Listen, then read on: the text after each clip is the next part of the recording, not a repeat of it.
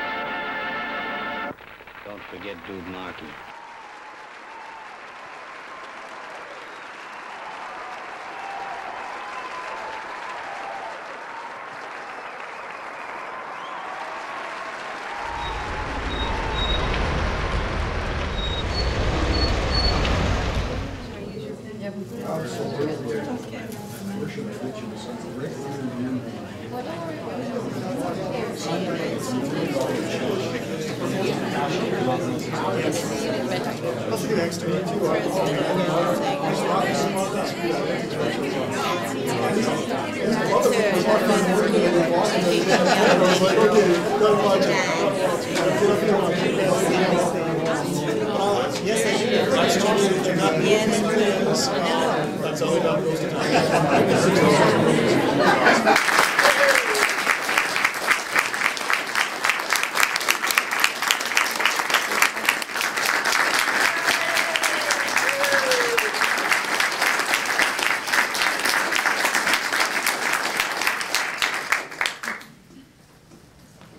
Thank you.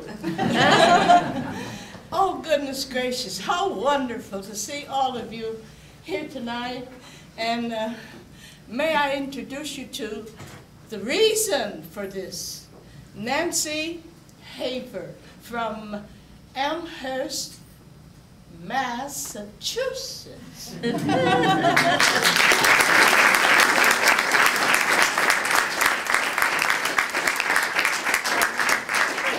the real reason for this. Well, I understand I'm kind of popular, but I mean, if it hadn't have been for you, we wouldn't have this book. Isn't the book good, ladies and gentlemen?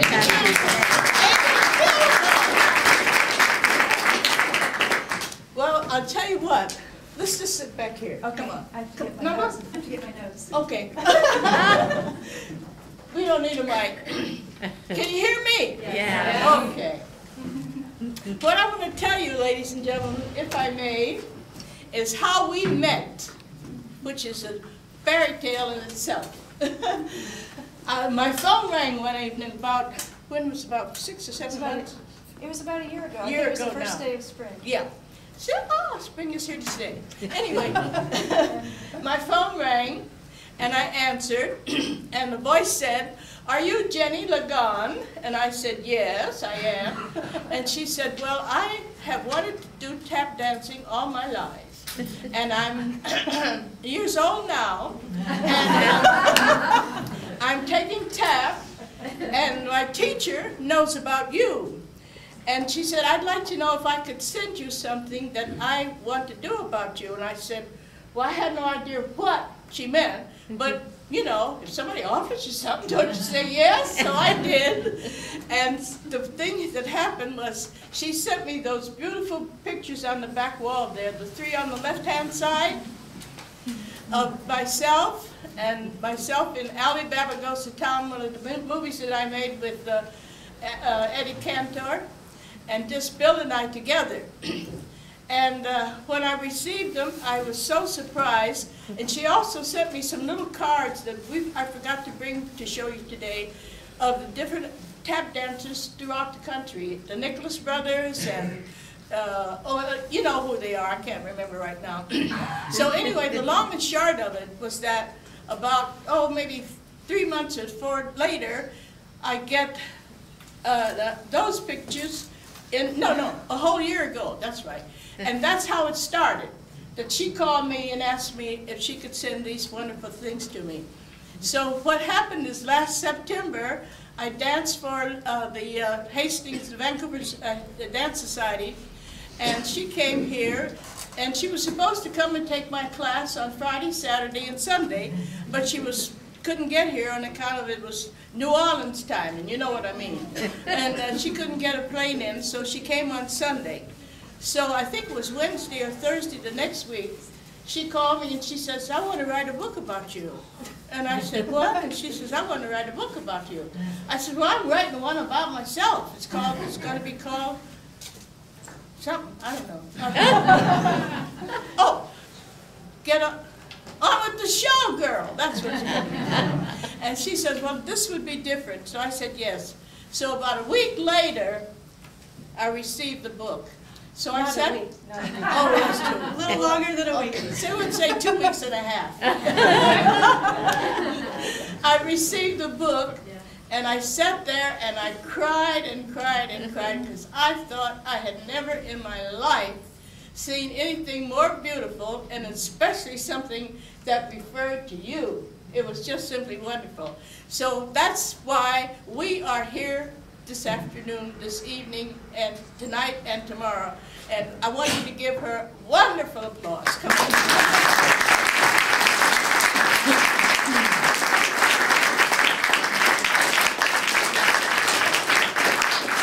Okay, now you talk about yourself. They talk about Okay. Um, The way this came about for me was that I started taking tap dance lessons about five years ago in my mid-40s.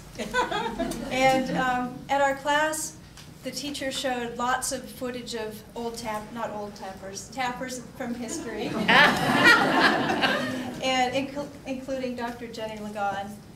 And um, I became so interested in their personal histories. So suddenly I found myself watching tap dancers, reading about tap dancers, thinking about tap dancing, and trying to contain myself in every conversation so that I wouldn't talk about it all the time. um, but actually doing it was pretty hard. So, um, and progress is pretty slow for me in dancing. So I thought, well, the way for me to participate is to do artwork of the tap dancers. And I, I started with woodcuts, like the ones you see up on the wall. I did, this was the Nicholas Brothers that Jeni mentioned from Stormy Weather. And um, like she said, it was, it was very exciting to actually get together and talk on the phone. I didn't sleep the entire night after I talked with her. I was so excited. And um, I realized that I really wanted to see in person, so I came out to Vancouver. Yes. Well, the whole, it wasn't just after I went home. The whole time I was here, I was thinking, somebody's got to do about, a book about this great woman, a, a picture book. So, you know, the wheels were turning. So I did get, go home and do it in a very focused way. And um, I guess for me, uh, somebody like me, tap dancing is a huge adventure. You know, I find it, I, you know, I like sitting at my drawing table and walking in the woods. So actually, even doing my steps in front of people is a big challenge. And making the noise is a very satisfying thing. I like the noise making part of it. And doing things with other people. So, you know, and also finally mastering those steps that always look impossible at first is very satisfying. It sort of keeps me going with the dancing. Um, and I I re recently read a quote that I enjoyed that said, dancing is just discovery, discovery, discovery. And it really has been for me, and I thank you for that. Thank you. So are there any questions? Does anybody want to know something about us that they would like to know? Did you ever get the lessons Yes. with Jeni? No, I haven't had those yet. What'd you say? What'd she say? I have, she said, have you given me my lessons yet? Oh, no. Maybe later tonight. Anyone else? Yes. Have you like always like loved dancing, or did you just get into it at a certain Yes, I was dancing when I was about five and a half, six and a half, seven. I really started dancing when I was about seven. How old are you? You said you're nine? Ten. Ten, ten. It's a good age. Keep it up. You like it? I haven't done it yet. Huh? I want to do it, but I haven't started. Oh, well, don't do that. If you like it, do it. It's wonderful, ain't it? Everybody should do it. Yeah. The world would be a better place. Yes, ma'am. You got a question? No?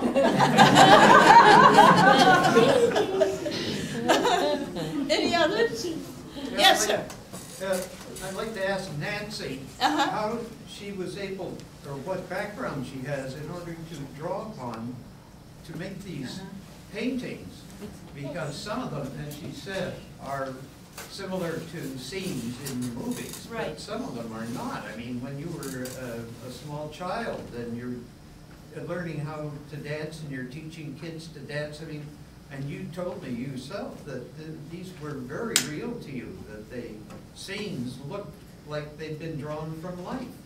And I want to know how Nancy knew about this. How did she get Uh, that? well, I, I did use, um, I have a friend, ten-year-old friend, who has several sisters, and I had them pose for me. So I did, but, you know, they were wearing jeans and t-shirts, um, and had different hairstyles. So I used them as a way to begin. And then I put in different backgrounds, and I changed their clothes, and I was lucky with the guess about the hair, so, the- I, I did not do them entirely from my imagination. I see. Okay. Yes. Could you, I was wondering if Nancy had ever done books before, is this, did you put together other picture books? Um, I, I did do another picture book, but my specialty is scientific illustration. So all my, all my books have been anatomy books and science books and bird books and animal books and things like that. So this is a very different thing. So the tap dancing has been very inspiring for me. And my parents say, this is the best thing you've ever done. Ladies and gentlemen, yes. Just wondering about your artistic background. Are you, uh, is this a hobby that you developed in your work, or did did you go to art school? You're a classically trained artist, or? I, I did, yeah, I was fairly focused um, on the art stuff from an early, fairly early age, yeah. So I, I did go to school for that. Mhm. Yes. Jeni, could you tell us a little bit about um, your tap training? Most of us who've uh, taken tap, uh, we learn in the studio. Um, You have a teacher, Mhm. and nowadays, you you can even now, you don't even need a teacher, you can, there are videos that teach you how to do that, or you can have books. But I believe your training was not in a studio. Um, Your Well, training, I really, I tell you what, how I trained. When I was about, um, uh, let's see, I think I was thir, no, I was about ten or eleven years old, and uh, I fell ill. And my doctor, my family doctor told my mom that I should go down to the south and lie in the sun because I had what they used to call eczema, and that it would cure me. And my, my sister's friend had her, her husband work for people who came from Chicago, where I was born, down south every year, and this was in the wintertime. So she suggested that she could take me down and stay with her people because that's where she lived. So I went down there, and uh, I was going to school, and I thought I would like to be um, gym teacher because I like sports and all that sort of thing. So when I got there, I had been dancing a bit, but not an awful lot. They, the kids in uh, Sa- Savannah, Georgia, it, at, at, at the time, I stayed down until school was out. And at that time, on the east side and the west side, the kids would have a competition, and you'd get money for it, the winner. And when they found out that I could dance, they asked me if I would, would represent them. I was living on the, on the west side, so I did that. I won. And um, I didn't know I could dance that well, so when I got home, I said, maybe this is not what I'm supposed to do. And at that time, ladies and gentlemen, the Cotton Club was very, very famous, and they had Sunday broadcasts. And for five months, for six months rather, Duke Ellington was on, and then another six months was Cab Calloway. And when they finished their times, each one came through Chicago with a show. And they always had the tappers on. It was either girls or boys or a mix and all that sort of business. So as I said, I was about about 10, year, 10 years old. I used to ditch school, don't understand. I used to ditch school, and take my lunch money, and go to see these shows. And then I would go up in the balcony and practice what I had seen. So I used, that's how I really learned to dance. And the one time I went to school, I went to a wonderful teacher there, and uh, I thought I was going to get a scholarship and didn't pan. And unfortunately, my parents didn't have enough money to send me on a regular basis. So I really just stuck my head in the, in, the, in the theater and learned how to do it and turned all the steps upside down so that they would never recognize it if they ever saw me dance. and one of the most wonderful things that happened to me was the four stepbrothers. I'm sure you've heard of them if you're dancers and you know them. they were making an audition in Chicago one time and uh, I had also been in a show that had made me wear the pants. I went to an audition for a chorus line for Christmas time, and um, the gentleman picked eight of us, and he sent us backstage to try on the costumes.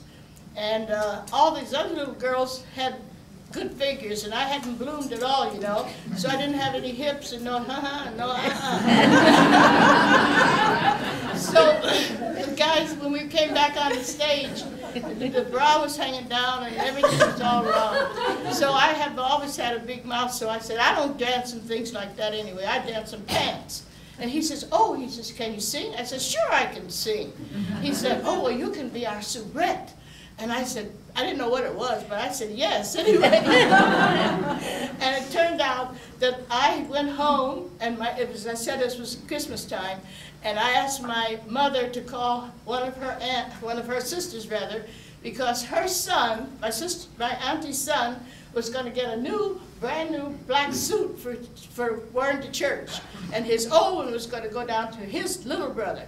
So I asked him if I could have the pants. I got the pants. I got a had a, had a cummerbund built. My brothers were waiters with the white jackets, you know, that they used to wear. And my sister's friend cut me one, cut one down for me and I wore it. And that's how I started dancing in pants. And that's, and I taught myself mainly I really didn't have, until I went in chorus lines and things like that, it's where I learned how to dance. And the Whitman sisters are one of the ones I went into. But I believe you showed the Step Brothers some of their own steps. Huh? The stepbrothers, I think you showed them. Oh, some of oh, their- oh, I forgot to were tell you that. What happened about the stepbrothers? Yeah, let You showed- you showed them- Oh, yeah. What happened was they were going into a show and they were rehearsing at the theater. And I was going down to be, to, in, to be, um, to apply for the job for uh, the Whitman sisters. And they were in one room and I was early. And I saw them dancing, and I saw they were doing one of the steps that I had stolen from them, see? And I was sitting there, and I got kind of antsy, and I said, pardon me, and they, oh, what they were doing was changing, you know, saying, well, take uh, uh, uh, out, put pa, pa, pa, in, see? So I said, I went up and I said, uh, I, call, I was sitting, they told me I could sit there because I was early. And I said, uh, pardon me, I said, but could you so, do something like this? And they said, what do you mean? I said, well, I can show you. So I went up and did their step, their step that I had that I had stolen from them, and I had turned it up completely, upside down, and put my own ending on it. And they all stood back and said, look at that little skinny girl dance. and they walked up to me and put their arms around me, and they said, go right, we'll take you down to the Whitman sisters. And they took me in and they said to the dance director, you don't have to audition this little chick, just put her in the payroll. and that's how I got into really professional because the Whitman sisters were one godsend. They were just fabulous.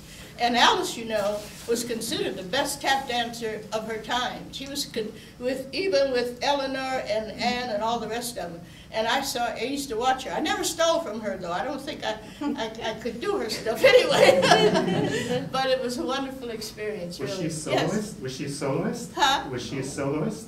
Was she a soloist? Yeah. Oh, yes, uh-huh. She was a star in a show that was called The Whitman Sisters, and it traveled, it was an all-black show that traveled the South every year, and at that time, there were about five hundred black, all-black shows in the, in the, the South where you could work. And we went out in March, I think it was, or April, when it began to get warm, and traveled all the way from Chicago east, and then out down south, all the way across to Los Angeles, and come back this way and I worked with them. And they had a little boy named um, Pops Whitman, who became Pops and Louie, and they were just wonderful. They were the second best to the Nicholas brothers, yeah. Yes, Jeni, I understand that a lot of the early tappers actually learned their tap on street corners, picking up on the percussive sounds of, of the streets. yeah. Uh, was that something? Yeah, we used to dance in the streets, we used to dance and challenge one another, and, Yeah. and we used to do shows and all that sort of business. Was that done more by, by young boys and men? Or did, did you or young women participate? We in all danced, we, we- they the didn't, they didn't, the boys didn't bar us from dancing, because no. some of us could out-dance them anyway. No, we had, um, it was just a common thing that happened, the kids, and we had gangs, but they were dance gangs in my day, not, not gang gangs, you know, not this vicious stuff that's been going on. Yes, I had a question. We saw some of those film clips earlier, and Yeah. we saw Eddie Cantor in uh, Uh-huh. blackface. uh-huh. And I was wondering, what was the attitude of uh, the black performers of the time towards a guy like Cantor who was making a living doing Yeah. blackface? Was Yeah. it resentment? Well, he and Al Jolson did it too, you know. Yeah. Well, I tell you, it was, um, I really don't know because I was much younger at the time, at first, when it first started. And I didn't have any, I wasn't on this thing of knowing in and outs and whys and how comes. But, um, they were both, both of them were not the kind of people that had all these prejudices themselves. And it was just, a- it was something that he did and he did well. And I don't, I don't think, if I remember right, I don't think anybody protested about it because it was just one of those things that, in, in, how would you say, made his stuff much better, as you could see on the show there. And you see, he had all of us working with him. That's why I was wondering, yeah. So it was one of those things. No, it was, a- it was kind of touch and go, but not really, yeah. Yes? Did you ever participate in the dance-offs when you were in the Cotton Club in Harlem? No, because I was too young to get in the Cotton Club, and I never went up there, so I didn't see it. But I danced in other places. We used to dance in the, uh, in the, in Chicago, in the, in the, on the, on the uh, streets and in the, in little, in private places to dance, you know? Yeah. Mhm. Yeah. Um, in the last 10, 15 years, there's been a major tap resurgence, and you've been one of the main people that have been traveling to the camps and Mhm. watching the kids and working with them. So you've gotten to work with them. You've seen how they danced. Um, if you could give a message to the younger generation of dancers from what you've seen about how they perform, what message would you give? I would tell them to learn how to perform, to entertain you. I have criticized this, and I understand it was really done something. Our new tappers tap across the stage. Come back across the. And they never look at you. They don't say, they don't dance and say, ha ha ha. hoo-hoo-hoo. And, you know, to you, because if they're doing this, they're watching their own feet. And you never know what they look like, you see? And they go back and you never see their faces. So that would be my worst, my main thing, to learn how to perform. Because if you don't perform, if you don't get your audience, what the heck? I mean, you can do all kinds of crazy steps and everything, but if you haven't sold yourself as a performer first, they're just, they just fall out, you know, because people can't, don't know what you're doing. They're- You have to be a showman. You gotta learn how to be a showman if you're gonna be in the business. And that's for every kind of dancing, not just tap. If you're gonna be a, a modern dancer, you wanna be able to do that too. So, because, but it's funny for my, my, my thinking about this mo- moderns, is there any moderns in here?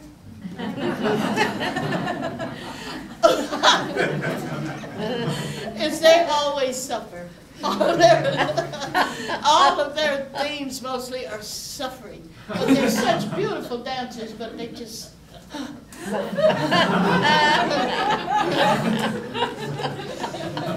but they're beautiful. Yes. Anything else? Continue with your Can we story go? about the chorus line. Pardon?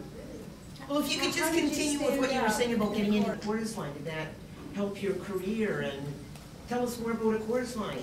I don't know any of this. Well, what happened when I first got my, I, I, my first professional job after doing the other things that I did was with um, the Count Basie Orchestra when he was brought east to uh, by uh, the wonderful uh, young man who was in the in the jazz business, and um, I had heard about Josephine Baker, the wonderful uh, wonderful of the twenties the twenties, you know, and a, a friend of hers who had danced with her in the line had told me about how she used to uh, come out in front of the line and do a little bit of nonsense. And so at this rehearsal, I was picked to be one of the 16 girls to work with uh, uh, the, the Basie co- company that, that at that time. And at one of the rehearsals, we were resting, and uh, I've always been a freshie, so I was up doing nonsense with like Josephine Baker. And uh, so they liked it, and the, the- both the, the producer and the choreographer, whose name was Sammy Dyer, were there. And I didn't, I wasn't paying any attention to that. I was dancing for the girls, you see, and uh, they liked it, and so they had me do the kind of thing that Josephine did. Because she was second on the back line on the on your right hand, on your left hand side, if you're the audience, on the left hand side. And she would dance with the chorus and do all the things the chorus did, but then she'd take a, a little turn and go out in front and do what we used to call mugging, you know, I mean, she'd do all these kind of crazy things. And that's her. So that's what I, that's the one thing I did steal, that I let people know that I could do it. Yes. Why did you decide to stay in Vancouver? Why? Oh, I love it. but at the time you came was. Uh, I came here in and- '69. Yes. And I, and I got here Easter Sunday, 1969. But there was a lot of tapping and dancing around here. the Well, what happened, um, really and truly what happened was that I was, I went, I came down um, Main Street, and I came to the um, Pender, and upstairs was a club called the Shanghai Junk. Do any of you remember it? And uh, I happened to look up at the marquee, and on the marquee was the name of a person that I knew very well. And so I decided that I would come back on some, this was on Sunday, and I decided I'd come back that night after I found a hotel and see them, so, see him rather. So when I got to the hotel, it was the one that's down here on Pender near Burrard. Its name's been changed 15 times, so I don't remember what it is, but that hotel was the one. And I told the, the uh, clerk to uh, waken me about 9 o'clock so I could go over to the club. And he said, oh, he says, oh, we're not all open on Sundays. And I said, oh my God, where am I? I'm in the boondocks, you know? So he said, um, well, why don't you wait and go tomorrow? Because, you know, we're open on Monday. And I said, okay. I said, I don't know whether my long green would keep me over Sunday. I only got one dollar or two dollars or something. Anyway, he said, so I did. And when I got there, not only did I have the young man that I knew as an MC, uh, I also had two of my ex-students that I had taught dancing to.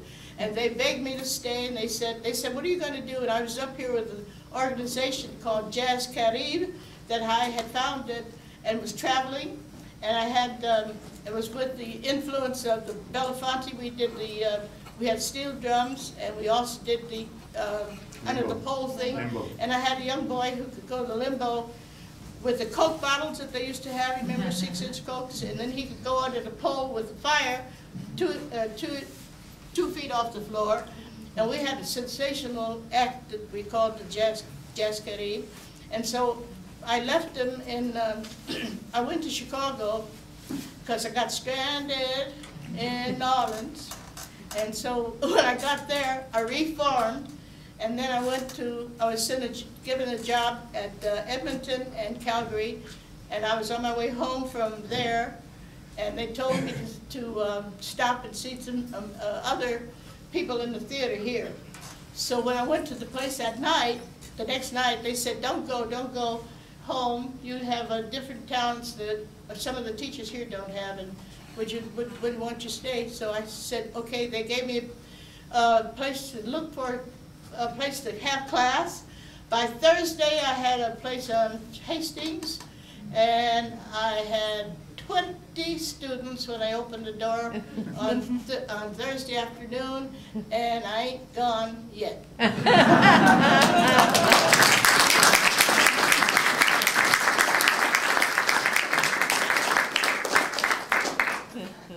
yes, let's go now. Is there anything else? Yes. I'm just going to say, uh, I, I'm Judith Maxian. Huh? A researcher on the National Film Board um, video of Jeni called Living in a Great Big Way. And certainly we spent hours and hours of interviews with Jeni. And, and one of the things that came out quite obviously was naturally this just astonishingly remarkable memory, this ability to, to give out details as if they occurred yesterday and this wonderful joy and vibrancy and vitality for life. And of course, and that was what, I don't know, Jim, it was back in the late 90s, but as you can see, she still has it. And what she was talking about there in terms of teaching performance, I was thinking at that time, Jim, that one of your secrets is how much you love what you did and what you do and who you are. And I think that if anyone is doing anything, if you love who you are and what you do, you get this remarkable product. So here you have Nancy Haver, who I'm really just meeting for the first time this evening, but I know her history through my friendship uh, with Jeni, of course. And uh, Nancy obviously loves what she does and who she is. And so when you get this mirroring this wonderful marriage, there's this remarkable product. anyway, those are my comments.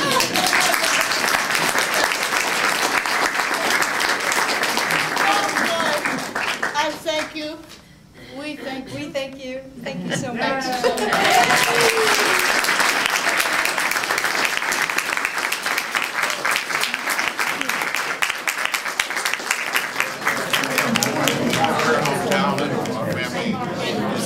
Sexton, you know, they're, um, across the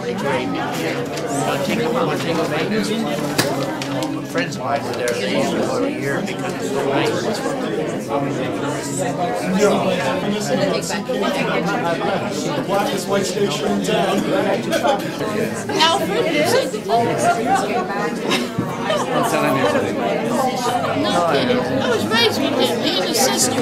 His sister, whose name was Hazel. I know. He was with you. I go to jail. She come to California with me. Did she? No, no, no, no. This was in the thirties. Now, this is. Everybody's from Windsor around here. Kind of a neat thing I did. I bought that